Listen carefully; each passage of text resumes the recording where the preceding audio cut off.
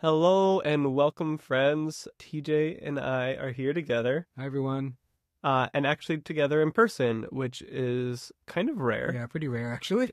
This is at the kind of tail end of being together for now over a week, but starting with coming together with friends and others from the Communion Shalom crew uh, at the Revoice conference. And that is what we want to just give some highlights and sharing about our time at Mhm. Revoice. Um, yeah, and might be interesting for people who went to Revoice, uh, but maybe will be interesting for those who've never been and want to think about whether they should go in the future or maybe send a friend in the Mhm. future. Mhm. Um, anyways, so we just want to share a few of our thoughts here on a quick little bonus episode. So first, we should probably talk about what is Revoice, just in case. Oh, yeah. Know. Uh, yeah, you can listen to some of the backstory. We interviewed Nate Collins if you want to. He, he's the founder of Revoice, but it is a Christian conference that's been going for six or seven years now. Mhm. That is specifically designed to seek the flourishing of LGBTQ and SSA Christians in the historic Christian tradition. And specifically, the historic Christian traditional sexual ethic. Yeah. Yeah. Uh, and I have yet to see anybody critique their statement of ethics or faith. Mm-hmm. So check out they're they're really well written. Um, they put a lot of energy into those. Um, so if you hear slander about Revoice, check it against what they've actually gone on record to say they support. I think it's. I think it should be mentioned. Um, it is wider than the conference. It's like a parachurch organization. The conference is probably their main thing, and they also Mhm. do. They have other resources, mostly from conferences. They have um, chapters of the group. There's sort of a mm, kind of a unifying organization for the side B movement in mostly in the U.S. But there's a lot of other people who attend from outside the U.S. because I think it's one of the large organizations that talk about sort of the side B faith and sexuality conversation in the world. Um, yeah, and uh, so the conference, right? This year they had we had around close to 600 people at the conference, and then they said they had a, around 125 people on the online conference. They usually have both modes or both modalities. You can attend online, you can attend in person. I would recommend in person, Yeah. um, definitely if possible.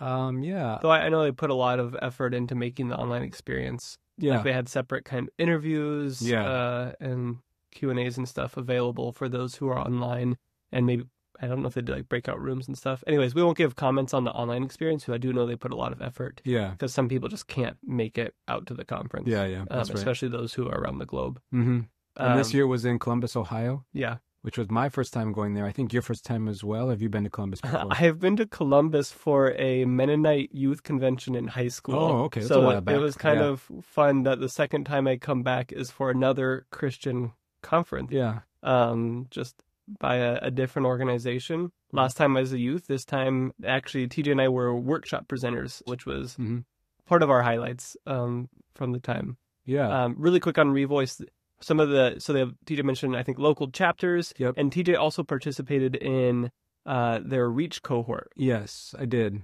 Reach Cohort is basically their leadership development fellows program, and they're usually people who are interested in engaging the faith and sexuality ministry or conversation in their, some capacity in their churches or their communities or their organizations. And yeah, it's, I it's a good experience. I know applications are opening up again soon. How long is the actual program itself? I believe it's nine months. Okay. So it was approximately from um, August to July. Meeting every other week, meeting monthly. Yeah, we made it bi-weekly, um, every other week. Oh. So yeah, it was, it was a good experience. Um, yeah, it's, it's nice too because it was a way to have at least some connections at Revoice. I, we had a lot of other connections because of our experience at Revoice and other communities we've been parts of, a part of. And I think that's what made this Revoice really uh, kind of special Mhm. for me. So I've actually been to every Revoice conference, Wow. um, and I got to meet some other people who had as well, uh, and it was fun. And and I think this one was my favorite. Mhm. And I think one of the reasons is that as the side B world has been growing and getting more connected, hmm that Revoice then even more just became the kind of uh, point of connection. So as there's more Revoice chapters all the chapter leaders, you know, went out for a dinner Yeah. together. Mhm. Um, TJ's Reach cohort also like came together for a dinner, and so it just became this cool time where like people you've mainly seen online or maybe you know haven't seen in a while would get to come together all in one place. Yeah. Revoice just does such a great job at hospitality that they picked the venue really well. Mhm. Uh, it was this beautiful vineyard church uh, out in Columbus, Ohio, um, who had a great bookstore, by the way, and Revoice's own bookstore was nice. Mhm. And they, what was I saying? Oh, the hospitality. Just they really make sure that the they've they've nailed it down after doing this for you know over five years of just like okay they want there to be you know rich content rich time Mhm. to come together really good time in worship but then also just good long breaks where you're getting the time to slow down get in conversation with Yeah. people Yeah. Yeah. um I often think of Revoice as now a family reunion sort of experience for me, because you said they've been together for a while. If you've been around the side B movement to the community, you you know people probably over after years. And but yeah, I totally agree. They na- they've nailed their formula essentially. Like their model of how they do the conference is very tight. It's very good. They they it seems like everything's thought out. And of course, we saw some of the the growing pains you might say over the years. But I think they're pretty close to where they need to be in terms Yeah. of their model of how to do the conference. That is. Yeah. Yeah. Um, and whereas, uh, as this year was kind of coming about, I was like, oh, should I go to Revoice this year? I don't know. You know, there's a lot of other things going on in life. Mm-hmm. This year, I left the conference and was like, I'm going to be at the next year's conference. This was so good. I never want to miss one. Yeah, he was so he was so ready. He was like, "When do we leave?" I may already be looking at Airbnb locations ideal for next time. I know. He, like the the day after, he's like, "What? Where can we stay next year?" Now he's looking for the Airbnb. Uh, because and next year, yeah, it's gonna be in Seattle. You can look on their website. Uh, uh, it'll be exciting. Yeah. Um. Okay. So what are what are some specific highlights for you, TJ, from the conference? hmm Um, I would say one thing was meeting people from one thing was meeting people from new locations that I hadn't really met before. We actually made some good connections from the Boston area that we hadn't previously. Um, we have a we have a pretty tight relationship with Atlanta people from our friendship with a particular person. Um, anyways, a particular friend of ours. Uh, but it was fun to make connections with the Boston, that sort of area. I would also say another highlight was I'm a big fan of David Bennett's work, so I appreciated seeing him on stage. I'm also a major fan of a former podcast guest on Communion Shalom, Misty Irons. I really appreciated her appreciated her um stage. She was also a main stage speaker, uh, a general session speaker. I would also say um, I think this time they said that I think they nailed the model that they kind of need basically. But I think that we had um we had enough space in the church. Last year the space was a little bit tighter, which I liked too for other reasons. Like you, you meet more people basically. But uh, we had more space that I think was more helpful for uh what do you what do you say? Helpful for meeting just people in particular affinity groups. They have groups for people of all sorts, like the groups of people who um, are in mixed orientation marriage, people who are use prefer the term SSA, people who are BIPOC, people who are interested in community living of various sorts. There's a Catholic gathering. There's lots of different groups, and I sometimes they're part of my they're my favorite part of it. Sometimes, Mm. like there's some good meetings, and I appreciated my two groups this year. Usually, you meet twice over lunch during the the few days that the conference is gathered. Yeah, at our affinity group for intentional Christian communities, the guys who were leading it, uh, they thought, oh, maybe there'll just be a few others who might come, you know, and join this group. And there was, I don't know, 30 or something. so they were encouraged by just how many people were either already participating in some Uh-huh. form of community uh, or were very interested in, Yeah. in seeing it happen. I also went to that, but I went to the other half of that. The other half of that was related to um, So some of the partnerships. Yeah. getting back to Misty Irons talk. So that Mhm. Friday, we started out with Wes, who was leading worship, and the group. Uh, Wes is great, by the way. yes, Yeah, such a definitely highlight. a highlight. Yeah. Uh, I can't even put words. Yeah, he's excellent. I hope I'd love if he would be a, wor- the worship leader. I, I guess is his title, worship leader for the next or future revoices. Uh, so Wes and the the worship team, they kind of brought just made it a little more intimate. Came down to the front of the stage, most of them just kind of sitting on the ground uh, there, and invited others to come and just join them. get- You know, sit in the aisles, sit up front. It was just a very, a very intimate worship time where it was good to just even more so um, gathering closer together feel that like we are together as one community worshiping before our lord and it is christ who brings us together here um, and i know i value just being able to get on my knees and embody um, my my love before the lord Hmm. um, and then and so we had this kind of tender worship experience right before misty irons came and spoke Hmm. and she just I think made every eye, you know, I teared te- up. tear up yeah, or cry or weep. Um, Oh, I was crying during her talk, and then afterwards it just hit me even harder. Like during lunch, and I couldn't. I was, uh, the weeping um came back Mm. even heavier. hmm. And Misty Irons, as an ally of the community, uh, she was shared about three stories um, of same-sex attracted or gay men who she had learned a lot from. Who We're her friends. yeah, her yeah. her friends who had helped transform who she was in her faith. hmm Um, and they're just yeah, such beautiful stories with some tragedy at times. hmm hmm hmm Um, and yeah, and and I can encourage you guys to all go watch it because at the end of Revoice, I was so happy to hear that some donors had stepped in to support so that Revoice could just make all their previous conference videos and current conference videos free for Mhm. access. hmm So I, I think we can probably include that link. Yeah. You can go and watch these sessions. Yeah. Uh, I'd yeah. say Misty Irons is typically a highlight when she's speaking. yeah, I think this is her years. third time. Yeah, yeah. So just if you need some guidance, start with Misty if you Irons. don't know who to start with, Yeah. just go watch all the Misty Irons Yeah. videos. and then you'll you'll find some great ones after. But Misty Irons is definitely a place to start if you are not unsure where to begin. Yeah. I would also say I, I did appreciate I thought our um present our, con, our conference presentation we talked about kinship rediscovering kinship beyond marriage, and I thought that it went well. I was happy to see we had many people who attended our breakout session more than I anticipated actually originally. I was like, there's a Yeah, lot I of people think in so. this room. TJ and I each presented at Revoiced last year at separate workshops. hmm and and so we had to both cut down our presentation and change a little bit because we basically merged our works.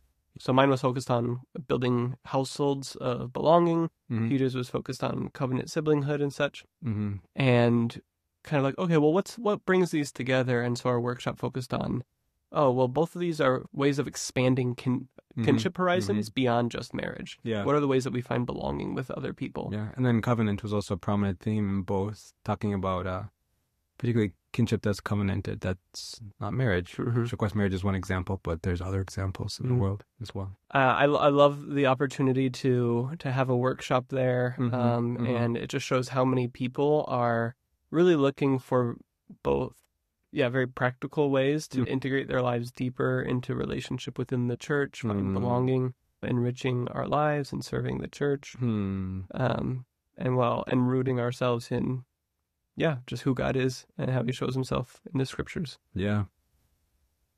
Um, Something else. I thought. Um. I think we should mention. I thought the venue was fine, good, and I think that does help the conference overall as it gets bigger. Um. Yeah. So I wouldn't.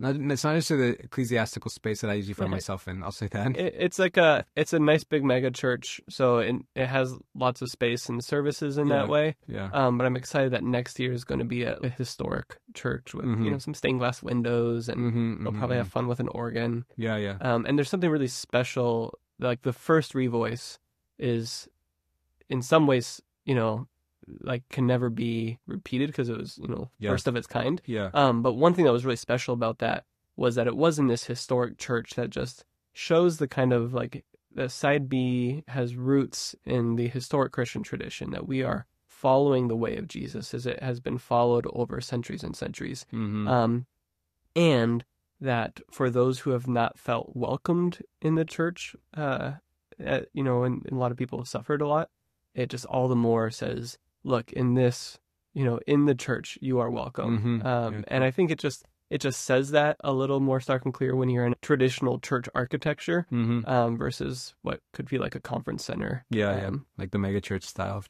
church. Yeah. yeah. megachurch architecture. One, however, I also noticed a few things this year that I hope are kind of areas of opportunity for the Revoice conference organizing in the future. For example, I wish we had more like Catholic and Orthodox speakers that are main staged, and also maybe more, I could mm, more of this, more of their hymnody, more of their music, like more of the traditional church music, because that came that was came out less prominently this year compared to other years, and even just generally it's been less prominent. I would say in my experience of Revoice. Yeah, it's a tough tension. Um, there's a lot of Presbyterians uh, connected at Revoice. Um, Surprisingly, in some ways. in Yeah. some ways, Presbyterians are should maybe should feel a little bit more of the middle ground within the Mhm. larger global church. Mhm. Um, traditional hymns were present. Uh, Yeah. Um, but how? Yeah, I guess free church Protestantism felt like the predominant. very presence. dominant, very dominant. That's what I felt. Yeah. Um, of course, many strengths from that, like broad movement, but it doesn't mean all the strengths are there necessarily. Also, and I think the Revoice is ecumenical. If you weren't aware, so it does. If it's Christians from all all over the spectrum of possible Christian expressions, you know, and yeah, I just wish it had more of that. It, it moves me. It moves me closer to worship than some other songs at times, or other music, or other ways of engaging the faith. And I just wish it was more represented, just because they do represent uh, a variety. Especially a lot of our Catholic friends were there, and next year there might be even more. So, yeah, I was happy. This is kind of unusual for me in my experience, but I was fun. It was fun. I connected with some other Anglicans there, mostly like straight ally types, but it was still fun to meet them. So, yeah, people are there. It's my point. Like the high church is there too, as well as even if there's a lot of free church type Protestants, they're also there but also the high churches are there, the apostolic traditions, as they call themselves. so, yeah. yeah, so I'll be interested to see what that looks like to Mm-hmm. try to integrate, um, which I know will make some people uncomfortable, but that's kind of. eh, I think Revoice does a good job of welcoming people into discomfort. Yeah. Even Wes, I think, called that out sometimes. Yeah, like, yeah. oh, I know this might make some of you uncomfortable, and if you know you need to sit down, that's fine. But uh, if you're able to like step into this discomfort and Yeah, yeah, meet the Lord there, right. um, so Wes was really good at navigating those things. Mhm. Another highlight that we haven't talked about is we were this year we were very intentionally hosting others at our um, Airbnb, and I think that's a good practice if you can do it. You know. Yeah, I would uh, for those who God has given the skills of of hosting an invitation. Mm-hmm. Um, find you know, find your Airbnb with a few people and just meet people, especially those who maybe it's their first time at Revoice, and and invite them over. Grab a few snacks, grab a few beverages. Um, that we really prioritize that this year, mm-hmm. and we plan to continue to do so in the next yeah, year. I appreciate it a lot, and I look forward to our next next year's thing. It also one thing that's fun to me is to see all the kind of the subgroups of Side B because they're they're mostly present there. They're all kind of present at their conference, and of course geographical distinctions is part of that. But there's more to say as well. But so. yeah, I don't know what you uh, fully mean by side groups. So one thing that's worth uh, mentioning uh, in kind of Revoice being this kind of fairly, you know, like central gathering place of a lot of different side B folks is that side B, you know, we have an episode on what's it called? Unity Yeah, and differences in side B. hmm Uh, and that it's real, one, great to just come forward together and say, yes, you know, we love Jesus, Mhm. uh, we worship him, mm and we are together encouraging each other and following the scriptures, following his word. hmm Um, and then, and yeah, and caring for each other, praying for each other. And it's time to, even those who we have some different uh, sensibilities on different matters, to build those face to face relationships. You know, it's just too easy for people to become like digitized. You know, even I just love like little bit of people watching, and you see like, oh, this person who I think is like really cool and really respect their thoughts. And then, you know, sometimes you like see someone and it's just like, oh yeah, we all have our little quirks and things, and Yeah. it just humanizes, you know, like, It oh does, yeah, we're all like somewhat awkward human beings. Yeah. So that embodied community of not just, yeah, quirky queer people, but um what was I saying? Oh, that yeah, it, it, it is a large umbrella. And so Mhm. if you go watch online, you will hear things uh, from the stage spoken that you might disagree with. Um, that could be because they come from a different branch of Christianity, a different Mhm. uh, part of the tradition that Mhm. doesn't exactly vibe with uh, tradition. your tradition, yeah. um, or just their own kind of personal way that they're sorting through things. Yeah. Um, and so there's a there's a work there to say how it's not merely um, oh like we agree to disagree so we don't talk about think no like we're we're thoughtfully leaning into these things, giving people the space to to be, to Mhm. share their perspectives, speak Mhm. from their convictions, and and then for us to yeah be in conversation about those Yeah. convictions and continue to be sharpening one another and learning from one another. hmm Um, so Revoice, while it is a side B space, it's not an echo chamber. And it's still a place where you're going to get challenged. Yeah, I think so. Also, part of that is I think sometimes people wonder, are are the our side B at Revoice is it only side B people? There's actually a lot of straight ally or straight people who are thinking about these conversations. There's even there's sometimes side A people come right in order to see what's happening, like learn more if they're interested. Maybe there's other people like side Y, side X people, but I've never met them. But maybe they come too. But there's definitely straight people and side A people who attend. So uh, I think sometimes people are worried. Can I go if I don't if I'm not precisely Yes, if they're Um, not sure if they're side B yes, or, or, I'm not precisely in agreement on these side B things, so they're kind of wavering or feeling uncomfortable or don't know what they think. It's like yes, people people go, and I think people usually enjoy themselves if Yeah. they if they attend. yeah, it, Yeah. it's it's a thoroughly safe and welcoming place that Mhm. I think would be encouraging. Basically, to any, I'm just like I can't Yeah, imagine know. who it would not benefit to go. Yeah, agreed. Uh, it it's it's such a rich time. Um, Hmm. that I our little review of it is failing to put words to. Um, it it was uh like a good little foretaste of heaven. Mm-hmm. Yeah, definitely. Um, one of my this is probably my last thought to share. Um, you're mentioning that we have a lot of straight friends who come to a conference as well, Mm-hmm. and I met someone who has actually also been at every Revoice since the beginning, uh, and is straight. And a few years into Revoice, met a friend there who they've now become like brother friends. He met like a best friend at Revoice. Mm-hmm. So now I'm like, oh, and I know all these straight guys who like don't feel like they have good close friends, and I'm like, come to Revoice. yeah, most definitely. What's your closing thought? Uh, I'm excited to go back, and I'm excited to keep making connections there when I do. That's my closing thought. so, Okay, bye, friend. bye.